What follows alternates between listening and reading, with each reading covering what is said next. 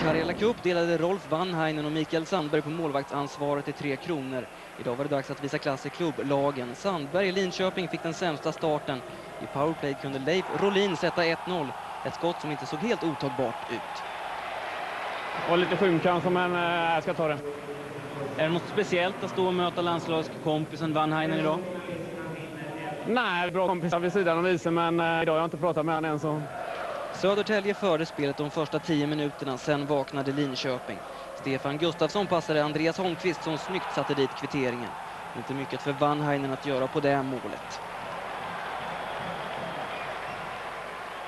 I slutet av perioden spelade Linköping i powerplay och den här gången kunde landslagsmålvakten fått bättre hjälp framför mål. Mikael von der Geest tog för sig och gjorde 1-2. I andra periodens andra minut kunde Jukka Tillikainen kvittera. Sandberg var ute på lite för hal is den gången. 3650 personer på läktaren fick se riktigt bra hockey. Linköpings Tim Eriksson tog fart i anfallszon, rundade Weinheinen. Barry Richter klämde sedan dit ledningspucken, men det var Eriksson som stod för kvällens prestation. I tredje perioden fortsatte de båda lagen att spela rock'n'roll hockey. Stefan Myran Gustafsson fick läge framför mål, men Vanhainen visade landslagsklass. Sandberg var inte sämre, han spelade stabilt matchen. I...